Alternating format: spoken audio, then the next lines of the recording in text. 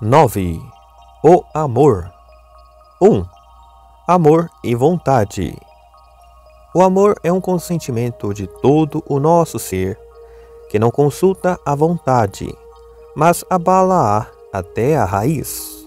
Com frequência se insinua em nós de surpresa, sem que a consciência tenha sido advertida.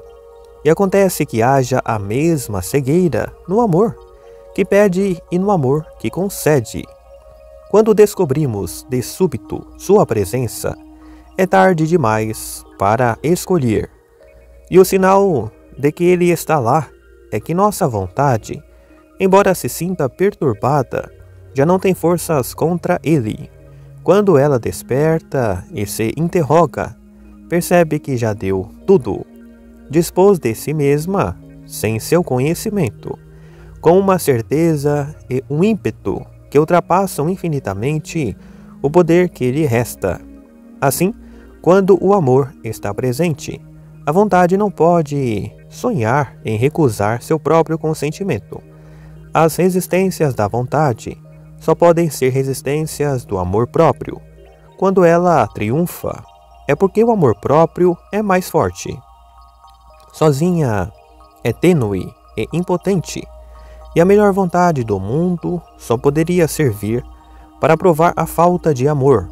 No entanto, assim que o amor aparece, ela reconhece seu Senhor, sente a própria fraqueza, mas fica feliz em sentir-se fraca. Sua destinação é obedecer-lhe, sem ter a audácia de resistir-lhe, nem de julgá-lo. Descobre um mundo que a ultrapassa mas onde seu lugar está fixado. Já não hesita, já não procura. A luz se fez. Ela vislumbra o horizonte, sabe aonde vai.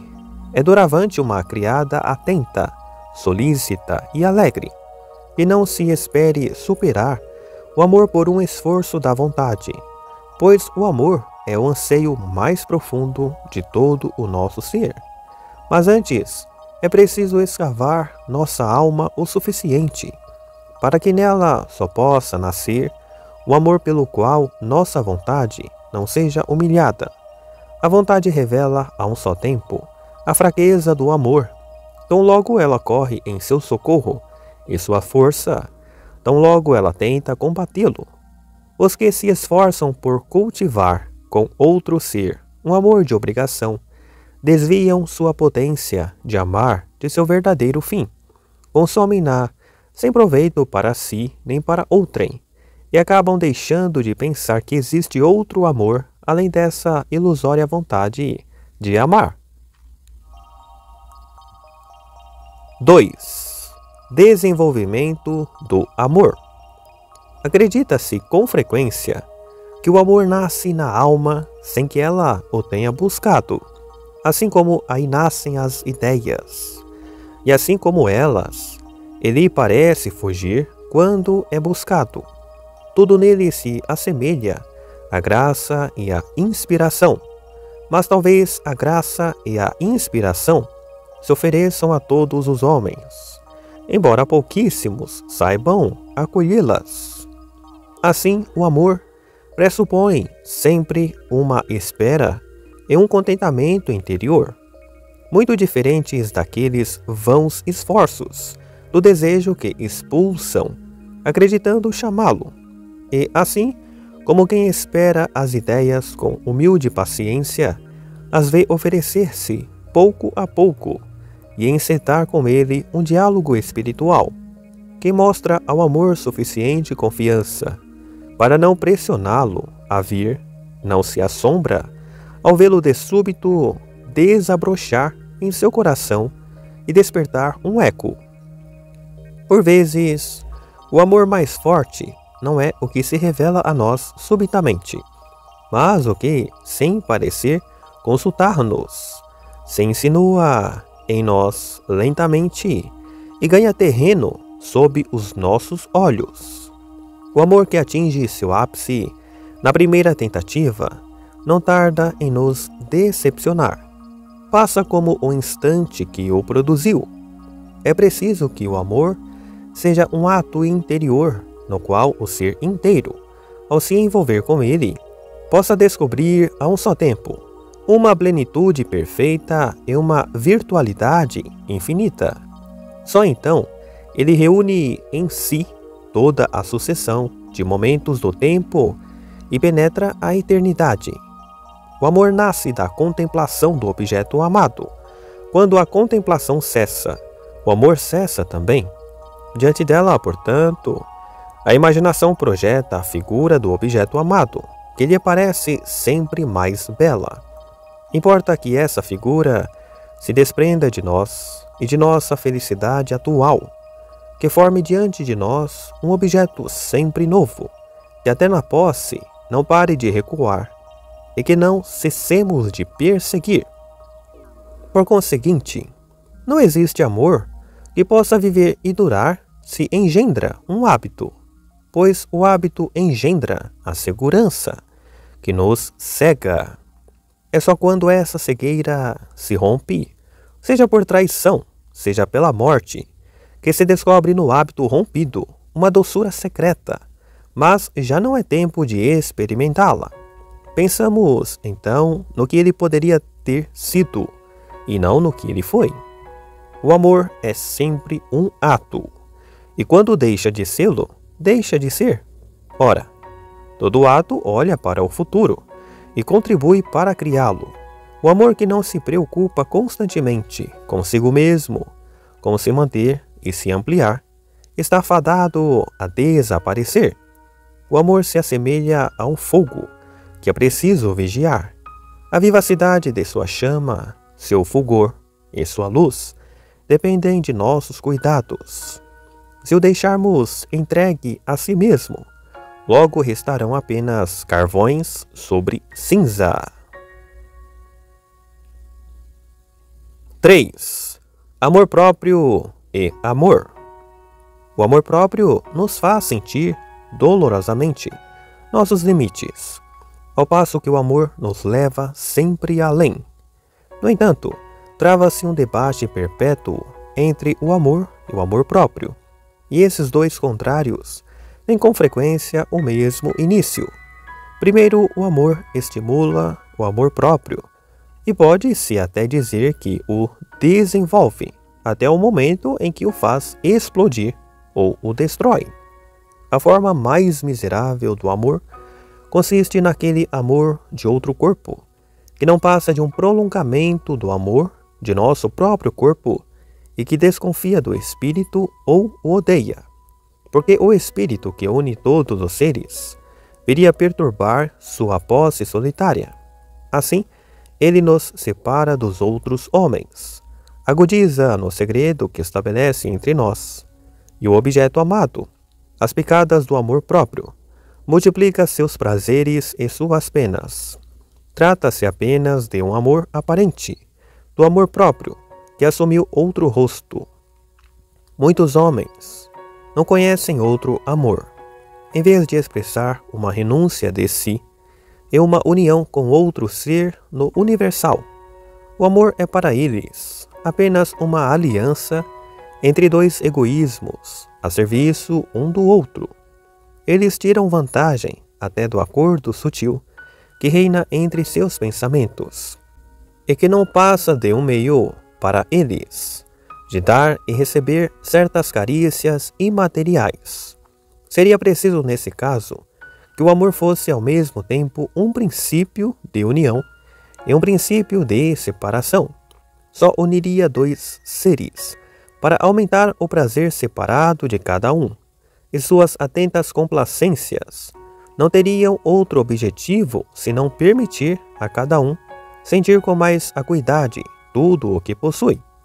O amor verdadeiro abole todas as separações, apazigua-nos e ilumina-nos, estabelece a unidade em nossa alma ao unir-nos com outro ser e por meio dele com todo o universo. Difunde-se até sobre aqueles de quem deveria separar-nos. Torna-nos subitamente sensíveis à sua humanidade. Nessa perfeita intimidade que fez cair miraculosamente entre dois seres, as barreiras da individualidade. Todos os outros seres podem receber uma acolhida espiritual. Essa é a forma visível de um amor feliz e conforme a sua verdadeira finalidade. Todo ser ao qual alguém se dá por inteiro com uma alegria ardente, na qual a vontade própria já não se faz sentir, para de se defender. Todo o dom que fazemos de nós mesmos, sem exigir nada em troca, já nos é devolvido. Ao renunciarmos a nós mesmos, formamos algo uno com o Espírito puro. Cedemos-lhe lugar. Ora, nele todos os seres particulares encontram acesso e comungam. Interrompem todos os debates do amor próprio, e ao perder o amor próprio, em benefício do amor, preenche todas as ambições do amor próprio e ultrapassam-nas. O amor não pode ser a cumplicidade de dois egoísmos, que isolando-se do mundo, fazem desse isolamento a fonte de suas delícias. Ele dissolve esses dois egoísmos e cria à volta deles um círculo mais amplo que ele amplia incessantemente e no qual o universo inteiro é capaz de se ter. 4. O desejo e a posse. Pensa-se com demasiada frequência que o amor é um movimento violento que nos leva para um objeto do qual estamos privados. Confunde-se então o amor com o desejo. Ele é menos estudado na posse, como se só aparecesse com toda a sua força quando encontra obstáculos que o impedem de se satisfazer. Imagina-se também que a posse é como um desejo que sempre se extingue e sempre se reacende.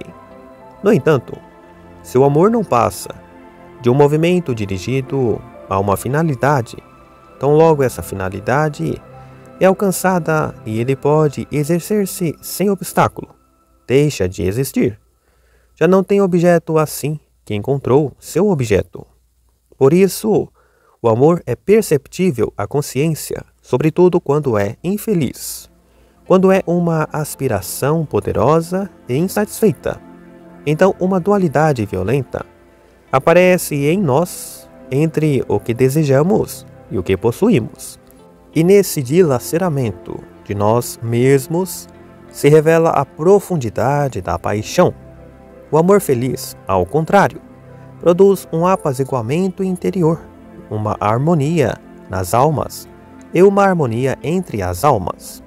Disse que elas se esquecem do restante do mundo, mas seria mais verdadeiro dizer que se esquecem de si mesmas, pois o mundo inteiro está agora presente nelas, e lhes parece que, ao obedecer à sua lei, contribuem para regular seu curso.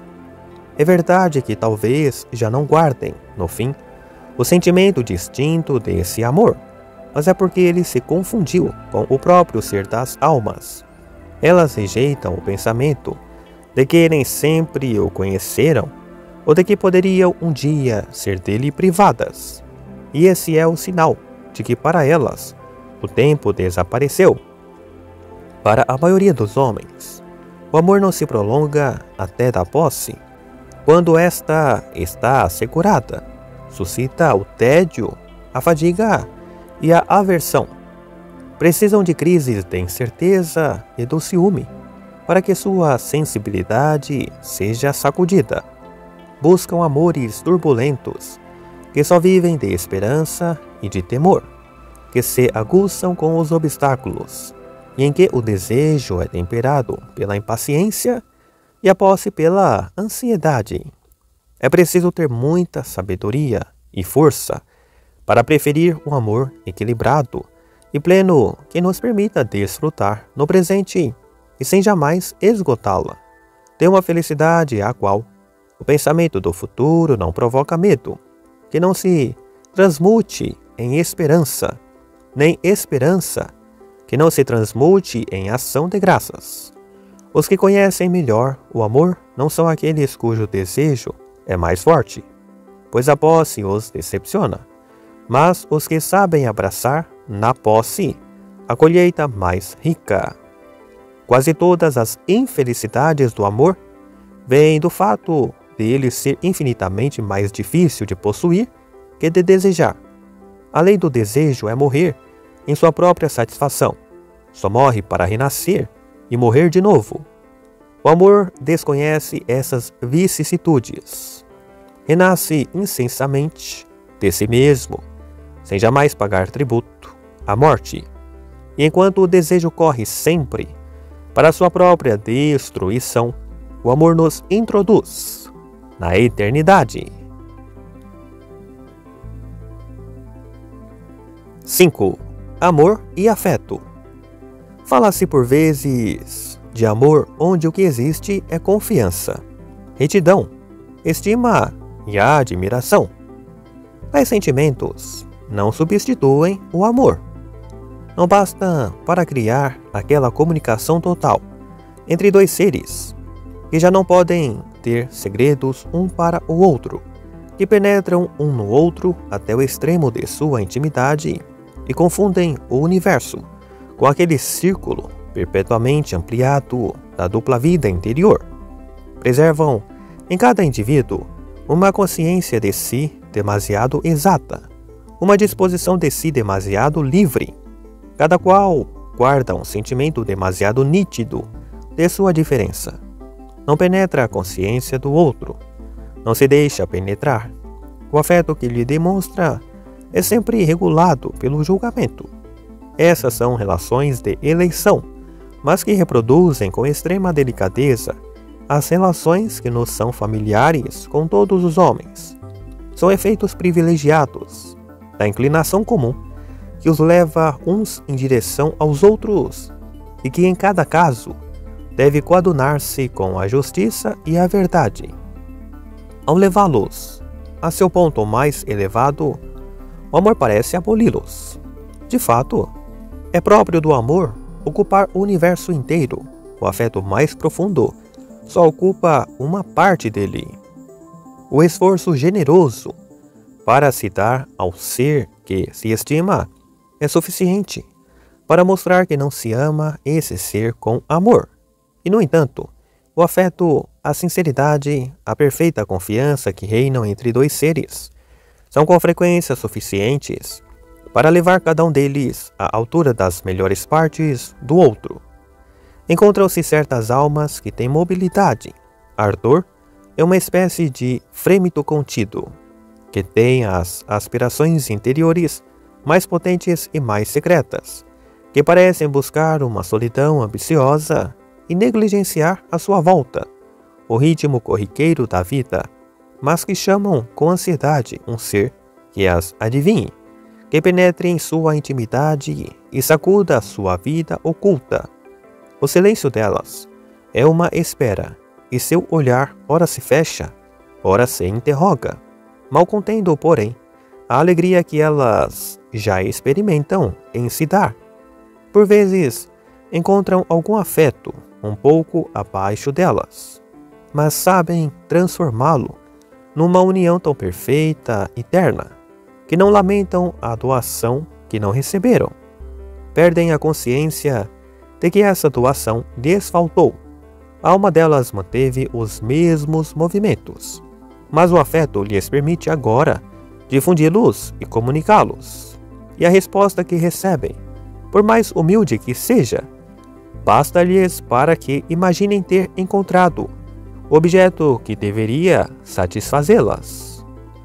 Se o encontro de um verdadeiro amor pudesse fazer e viver nelas a esperança que outrora as enganou, já não se perturbariam com ele, pois adquiriram segurança suficiente e felicidade para reter seus benefícios e revertê-los no afeto que parecia de início tão moderado e ainda conseguir dessa maneira purificá-lo e aumentá-lo. 6. Silêncio da intimidade. Existe em nós uma zona de silêncio, onde se encerra uma parte de nossa vida interior, seja porque não queremos deixar ninguém entrar nela, seja porque nos sentimos incapazes de fazê-lo. Ela indica o limite de nosso amor, mas também existe no fundo de cada um de nós um posto de silêncio à beira do qual não ousamos nem sequer debruçar-nos sem a presença do amor. É verdade que a intimidade nem sempre é efeito do amor. Ela com frequência o precede. Por vezes faz nascer o amor, sem que se tenha imaginado isso. Pode ampliar indefinidamente um amor humilde e tímido. Mas o amor, no qual havíamos depositado toda a nossa confiança, nem sempre resiste à intimidade. Será que existe um amor tão perfeito que nos permita dizer em voz alta o que dizemos em voz baixa? Pode-se pensar, porém, que o papel do amor é primeiro mudar a natureza de tudo o que dizemos em voz baixa. Sem dúvida, é esse o sentido do amor mais perfeito, que é o amor de Deus. A distinção entre o que dizemos em voz alta e o que dizemos em voz baixa é a medida de nossa separação e de nossa solidão. Assim que a solidão se dissolveu, o amor de si já não deixa ouvir uma voz separada. Tampouco é necessário que falemos sempre em voz alta, como se o que pensamos fosse invisível, ou como se quiséssemos dissimulá-lo, dando a impressão de revelá-lo. Nossas palavras mais silenciosas são logo ouvidas pela alma que nos ama, e como vivemos com ela numa comunicação permanente. Essas palavras sempre encontram nela uma resposta, isto é, um eco. O maior benefício do amor é produzir uma purificação de nossa vida secreta ao libertá-la dos limites do amor próprio. É revelar-lhe uma intimidade mais profunda em que seres diferentes comungam. Existe assim um silêncio da intimidade que é mais pungente que todas as palavras, pois indica um respeito delicado pela separação material e uma penetração imediata e perfeita entre as almas. As palavras ditas, ao rompê-lo, parecem não apenas inúteis e grosseiras. Nelas se poderia ver um obstáculo mais que um meio. Lembram-nos duramente nossa dualidade, em vez de aboli-la. Fariam com que sentíssemos a presença de nosso corpo, que é preciso esquecer, e melindrariam nosso pudor. Na presença do objeto amado, o silêncio tem mais valor que a fala, tem mais riqueza e sutileza que as palavras mais finas.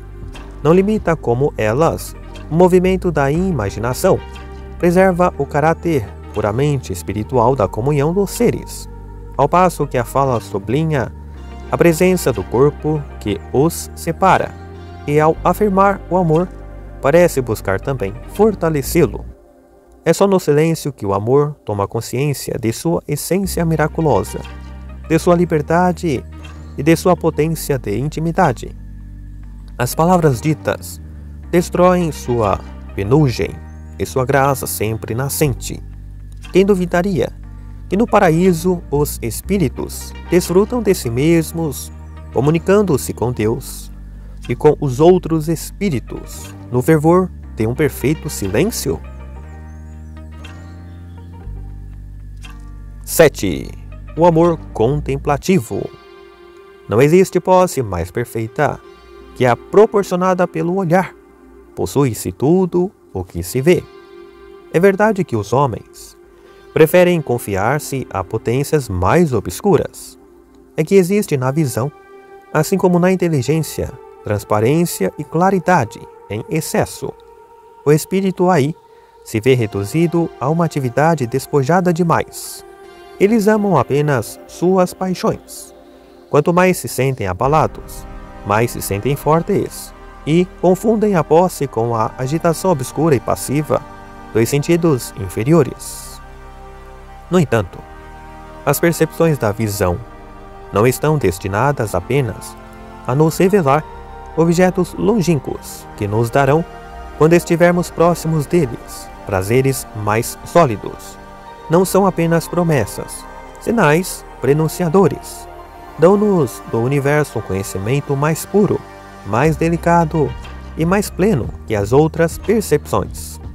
Podem desprender-se das paixões da carne. Apresentam-nos o mundo envolto numa luz serena e bem-aventurada. Por isso, amar é desejar do objeto amado uma visão cada dia mais ampla, mais exata e mais penetrante. Uma visão que não deixaria escapar nada. Mas esse é apenas um símbolo sensível do amor verdadeiro, pois não é o corpo o que é amado, é o ser espiritual, um ser que não é visto. Como não se pode, no entanto, amar um objeto ignorado, ama-se, portanto, a ideia dele.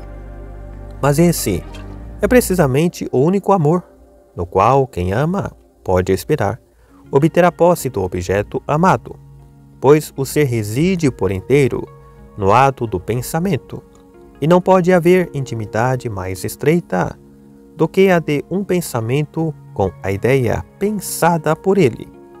Dir-se-á que essa posse ideal é frágil demais para satisfazer-nos, demasiado distante da posse real, mas aquela é a essência desta, que sem ela é ilusória. Procura-a e nem sempre consegue encontrá-la. Quando a memória houver purificado todos os acontecimentos de nossa vida, houver apagado as impressões confusas que experimentávamos quando eles ocorriam, de tal modo que deles subsista apenas sua significação profunda e secreta.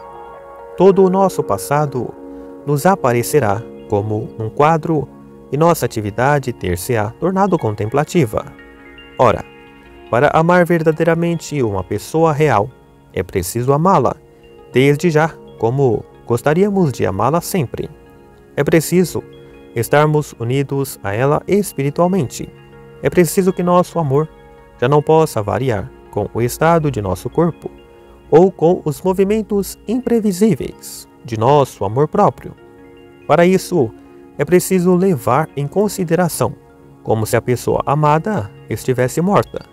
Apenas aquela ideia dela, mais verdadeira que ela mesma, a qual, até quando sua presença nos é dada, é a única a nos revelar seu ser verdadeiro. 8. O amor pessoal. Embora o amor seja a união real de dois seres, não exista união mais perfeita que a do pensamento e da ideia. Não basta, no entanto, a quem é amado existir apenas como uma ideia na consciência de quem ama, nem a quem ama amar apenas uma ideia que ainda é uma parte dele próprio. Nenhum deles sentiria alívio em pensar que existe nessa relação uma reciprocidade que os iguala. Para começar, não é verdade que a consciência constitua algo uno com suas ideias. Isto é, com aquele puro espetáculo que lhe é oferecido e que com frequência não basta para comovê-la. Sem dúvida, as ideias só existem em nós e até constituem, por vezes, puras ficções de nosso espírito. No entanto, elas não somos nós, visto que podemos aceitá-las ou rejeitá-las, e que nada existe que sejamos nós além de nossa preferência mais oculta e, por assim dizer, de nosso consentimento puro. Depois, o amor é precisamente a descoberta de um ser que é, a um só tempo, infinitamente mais independente de nós, e, no entanto, infinitamente mais interior a nós que a mais perfeita de nossas ideias. Esse ser depende tão pouco de nós que podemos, ao contrário, pôr-nos sob sua dependência. Isso significa, portanto, que nós o amamos como a um ser que vive fora de nós, como a uma pessoa real. Era o próprio do conhecimento transformar os seres em ideias.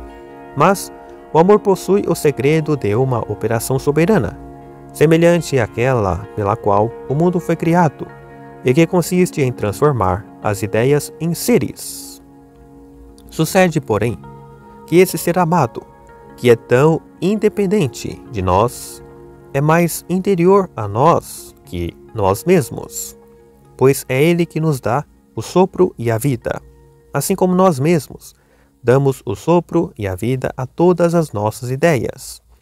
Assiste-se assim a formação desse admirável circuito que é a própria lei do amor, e que de uma ideia faz um ser, que por sua vez dá o ser a nós mesmos. O que existe de comum a todos os homens no amor é a alegria, que esse sentimento os faz exprimir, associada, como diz Spinoza, à ideia da causa que a produz.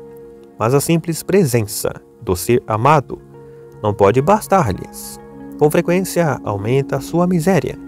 O que eles desejam é o consentimento interior de sua vontade, que, se estiver de acordo com a ordem espiritual, os une a Deus e confere à alegria deles o sinal da infinitude.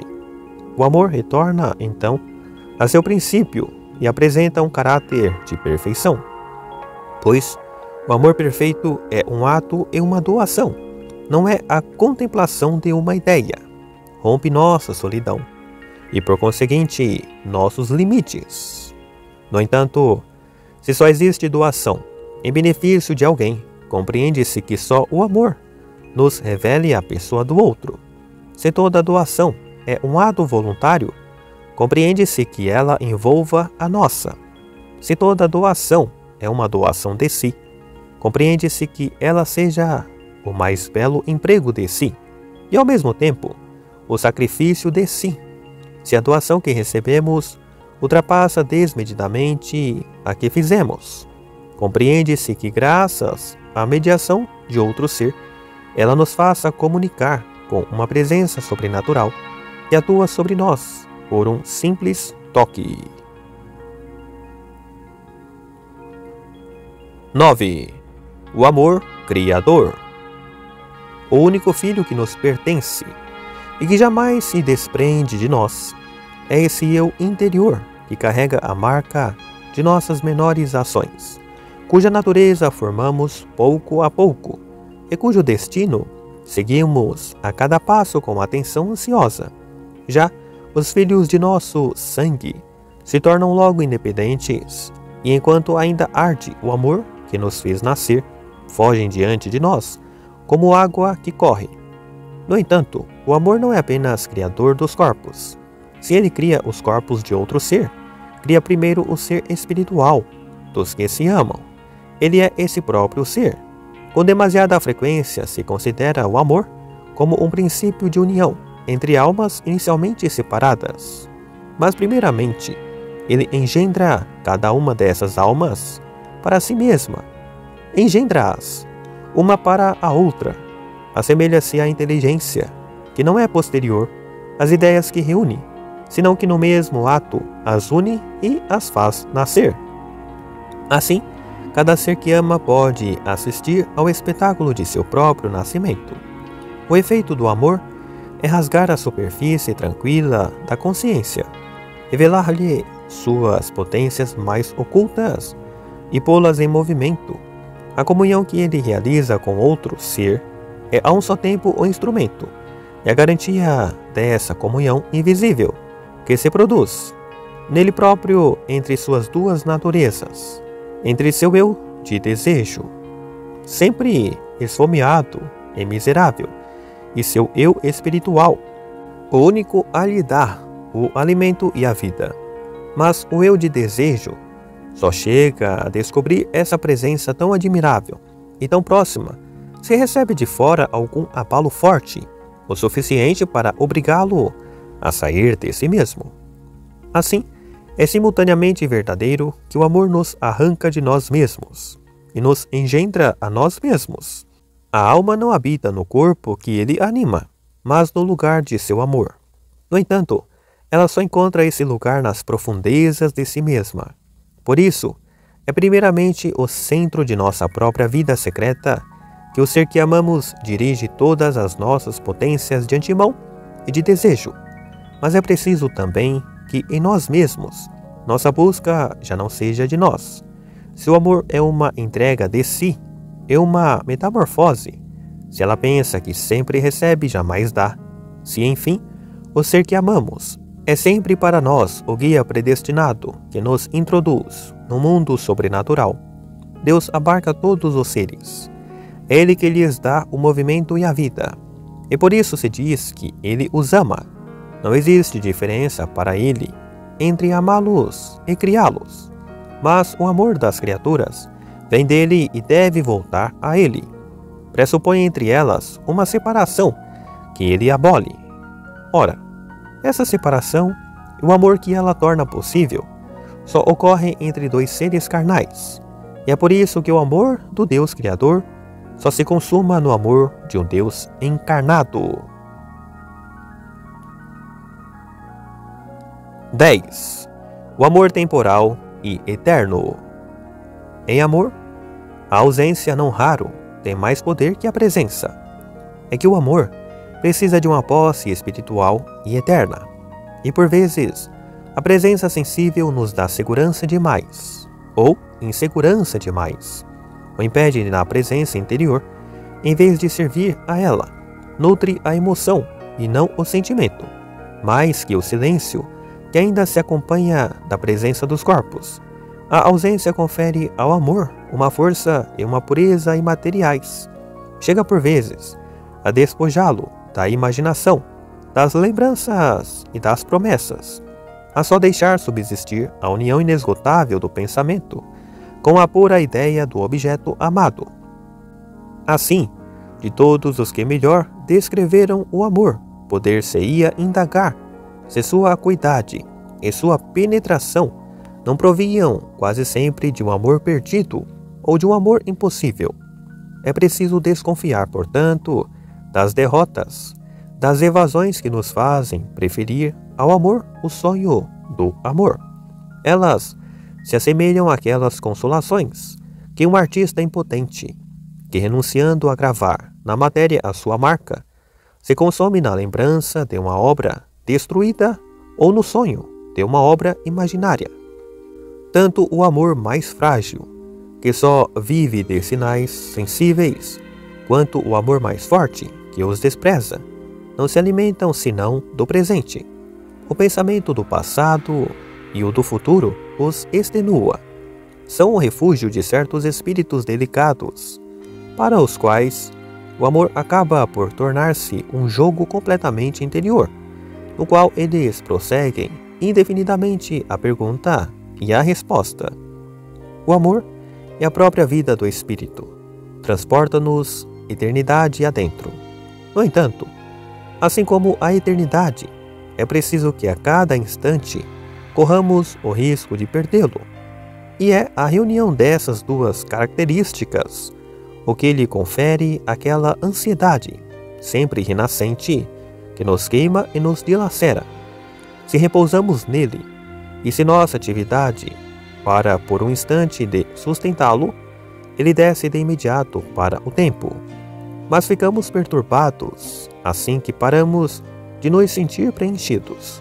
E o pensamento daquilo que nos falta nos faz mergulhar de imediato num abismo de miséria. Então, o amor parece dirigido a um fim sempre prestes a escapar-lhe e que buscamos sempre alcançar ou reter, assim que ele se envolve no tempo. Vive apenas de crises. Mas o amor só é verdadeiro se aspira a libertar-se delas e não comprazer-se nelas. E para conhecê-lo, é preciso observá-lo em certos momentos de posse, nos quais ele não deseja nada, porque seus desejos foram superados, nos quais desfruta de si mesmo e da presença espiritual do objeto amado, nos quais não busca perpetuar-se, porque não teme perder-se, nos quais se absorve por inteiro em sua essência realizada. 11. Valor infinito do amor. Os homens que vivem pelo amor, assim como os que vivem pelo pensamento, carregam em si uma preocupação permanente. Não podemos distraí-los dela sem lhes retirar o movimento e a vida. Quando ela reaparece, o mundo retoma sua configuração e seu sentido eles aí encontram seu lugar natural. Percebem, de novo, a oposição da sombra e da luz, o gosto da dor e da alegria. São censurados por encerrar-se na solidão, exatamente quando a rompem, quando tomam posse de tudo o que os cerca, penetrando o que estava fechado, descobrindo o que estava oculto, difundindo o sopro que os anima sobre um universo inerte e dando-lhe a palpitação interior que sem o amor ele não teria. Dir-se-á que o valor do amor depende de quem ama. Este pode fazer do amor, bem como da liberdade, o melhor ou o pior uso. Mas o valor do amor ultrapassa incomparavelmente o mérito dos amantes, eleva-os acima de si mesmos. O coração de cada um deles não é grande o suficiente para que o amor possa caber nele, e não se deve dizer que cada ser ama com um amor que está à sua altura, nem que pouco importa que esse amor seja pequeno ou grande, contanto que preencha toda a sua capacidade, visto que o amor une um ser a outro. Cada um se obriga, precisamente, a ultrapassar seus próprios limites, isto é, a sair de si, e no entanto encontrar-se e sacrificar-se, e no entanto realizar-se. Cada um sente que o amor nada pode dentro dele, senão com a condição de que ele próprio viva no amor. Assim, o amor não lhe faltará jamais, mas ele próprio faltará sempre ao amor. O amor supera o ser amado e também o ser que ama. É um infinito presente, mas também um movimento que não tem termo, uma promessa que jamais se esgota. Por isso foi comparado a uma inspiração e a uma fatalidade. Com respeito ao amor, a perfeição de nossa iniciativa reside na perfeição de nossa docilidade. É preciso, portanto, abençoar o amor mais débil, em vez de desprezá-lo e queixar-se dele. E até o amor mais baixo ainda eleva a alma que o experimenta, embora o amor próprio possa fazer disso outro julgamento nem sequer é verdadeiro que as maiores almas só possam aceitar um amor à sua altura, pois na sinceridade do amor mais simples, elas podem encontrar toda a riqueza do coração humano. Não há nada mais precioso que o movimento espontâneo, por mais tímido que o suponhamos, que impele um ser a outro ser. O amor é indivisível, sente-se sempre chamado à fruição do absoluto não se dá a nós como uma coisa já feita e medida de antemão. Cabe a nós fazê-lo, e ao lhe dar nossa vida inteira, descobrir que ele não tem medida. Assim, no amor mais humilde, existem possibilidades infinitas, que cabe a nós deixar que se percam ou fazer que desabrochem. Uma vez existente o amor, é preciso, portanto, que se eleve até o infinito mas se ele se desprende de sua fonte universal e espiritual, se em vez de atravessar o ser finito para ultrapassá-lo, ele o transforma em infinito, é inevitável que produza o desastre e a morte, como o cristianismo o afirma e Racine o testemunha. 12. Amor e unidade. Só existe um amor ainda que ele dê origem a uma infinidade de sentimentos. Assim como só existe uma inteligência, ainda que ela dê origem a uma infinidade de pensamentos. Não se pode renunciar ao amor, sem renunciar a alcançar a própria interioridade do mundo, isto é, o princípio que dá à nossa vida sua impulsão e seu sentido, que rompe nossa solidão e nos afina com outros seres que resolve nossa dualidade e concilia em nós o espiritual e o sensível, que reconcilia todos os nossos desejos e nos faz viver na unidade. Quem melhor conhece o amor é aquele que abraça todos os outros seres no mesmo amor. Ele o dá por inteiro a cada um deles, visto que o amor é um dom de si e que tal dom não pode ser dividido e recebe o acha tão perfeito, que tem a certeza de ser amado com um amor único no mundo. Mas só podemos amar como devido um ser quando amamos como devido todos os outros. O amor que tenho por todos sustenta e multiplica, em vez de dispersar o amor que tenho por cada um. Assim, todo amor de exclusão é um roubo que se pratica, não apenas aos outros seres, mas também ao ser amado. Todo amor se apresenta justamente como um vínculo excepcional entre dois seres excepcionais. Todo amor deve ser excepcional para encarnar a cada vez a essência única e total do amor. Em todo conhecimento em toda ação, é preciso ir do princípio às consequências, do centro à periferia e do foco aos raios. No amor também. É o amor universal, isto é, o próprio ser do amor, o que se encontra numa forma perfeita e indivisível, no amor de dois seres particulares. No entanto, ele se oferece a cada um deles como uma doação tão pessoal e tão privilegiada, que sempre se assemelha a uma graça, sem similar, é insuscetível de recomeçar. É preciso haver feito a experiência do amor das criaturas para dar-se conta de que a finalidade de nossa vida não é dissolver nossa existência separada da unidade do universo imenso. É uma ilusão pensar que poderíamos, assim, ampliar-nos até chegar um dia a possuir o todo e a identificar-nos com ele. Não faríamos senão aniquilar-nos. O universo está à altura de cada consciência particular, a qual é capaz de proporcionar, sem destruí-la, uma satisfação absoluta, mas é o amor que lhe dá essa satisfação. O mundo onde todas as partes viriam fundir-se na unidade do todo, já não seria a unidade, nem o todo de nada. Já não seria um mundo. No entanto, o amor nos revela com singular acuidade a realidade desse ato de união, que é a própria vida da unidade.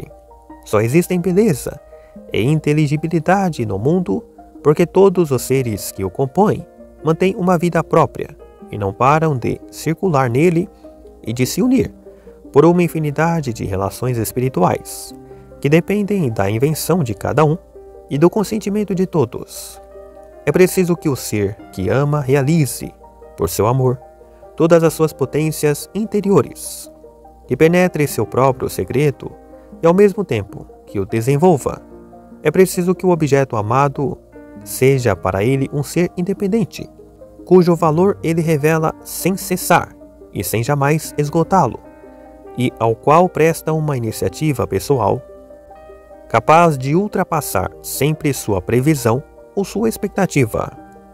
Amamos um ser que deve ser outro que nós e que queremos que seja precisamente como é, a fim de não subordiná-lo a nós e de nem sequer parecer que nos subordinamos a ele. Se é verdade que recebemos dele tudo o que somos capazes de possuir, mas a simples presença mútua de dois seres que se amam deve dar a cada um deles tal impulso, tal movimento, que no momento em que estão mais unidos, cada um sinta confirmado em sua própria lei.